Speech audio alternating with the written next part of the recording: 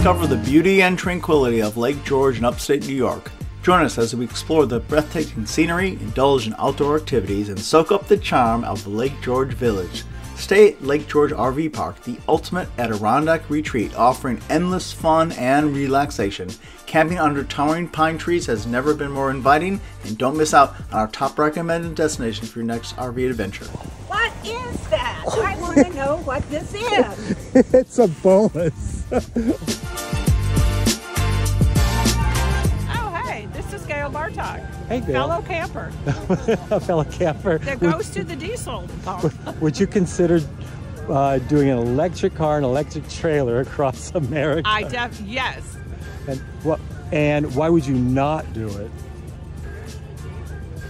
I have uh, no reason. I think it would be fantastic. We've been going from diesel pump to diesel pump. I think it would be a great adventure. Has that been expensive? Sure, better this year than last year. Okay, cool. Where are you from? North Carolina. Oh, cool. So nice to talk to you, Gail. Thank you. Have a great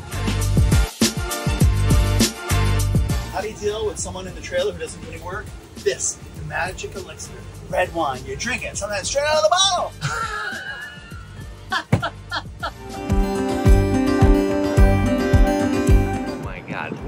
this thing? it's a bolus. Bolus? Yeah, hey, what's your name? Jackson. Where are you from, Jackson? Uh, Braintree, Vermont. Oh, cool. Yeah, All right. just over the hill. Thanks. This is amazing. Do you have a trailer? We don't. We just got an EV, and, and the whole towing the whole towing idea is really fascinating. So to see you guys pulling this is is pretty incredible. Oh, cool. Thanks. yeah certain place like th- here they tell you you can't which I really, Really? yeah. It's You just, um, can't?